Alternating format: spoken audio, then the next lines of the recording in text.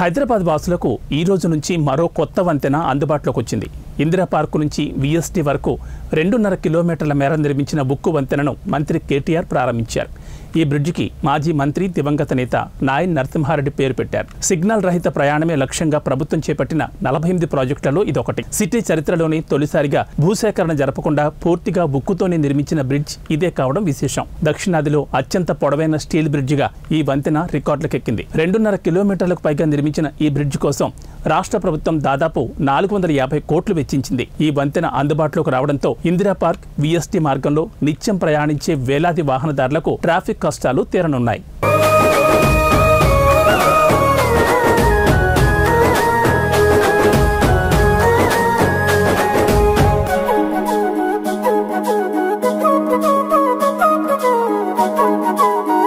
Thank you.